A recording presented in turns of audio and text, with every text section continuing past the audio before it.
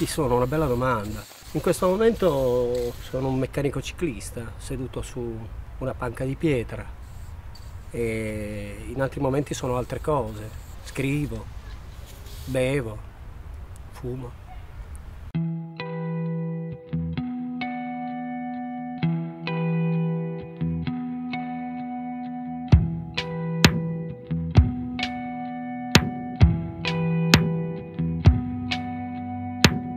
Normalmente tutto quello che conosco di me vale fino a questa sera, per cui magari se ci risentiamo domani ti dirò un'altra cosa.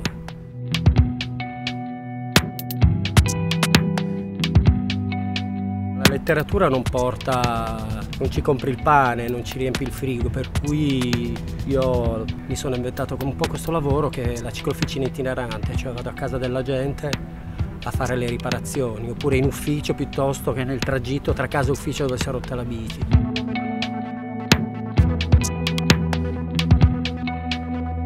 Sono uno che scrive e uno che è apprezzato, questo mi fa piacere.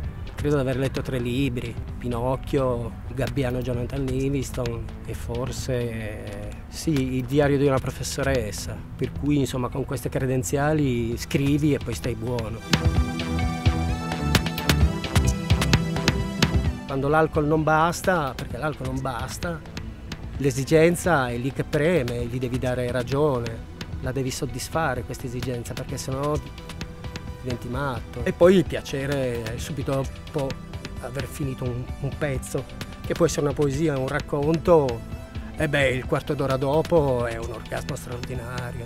Dura un quarto d'ora e eh, poi ricomincia, devi continuare a scrivere.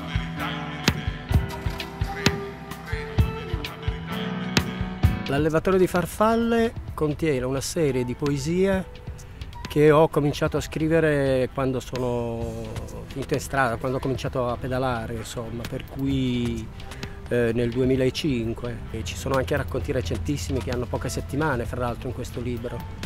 Eh, tutto il mio percorso all'interno della casa. E le storie non scritte sono destinate ad essere lette e ce l'ho messo perché il comunista, sindacalista che c'è dentro di me, eh, insomma, un po' ce l'ha questa roba qua del dare la parola, no?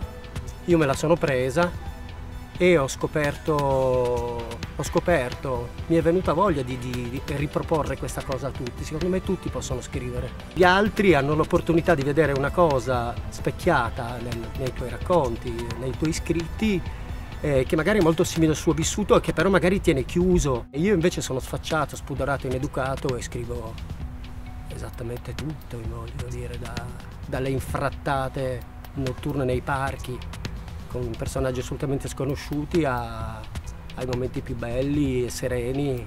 Quando tu ascolti delle storie di persone che magari non scrivono, ti raccontano delle storie talmente straordinarie, ma anche solo stando zitti alla fermata di un pullman, se tu ti fermi a guardare una persona, c'è una storia, te la racconta lui. Non si possono sciupare le parole. Cioè io ho già poco, metto anche a sciupare quel poco che riesco a, ad emettere, eh, è la disfatta.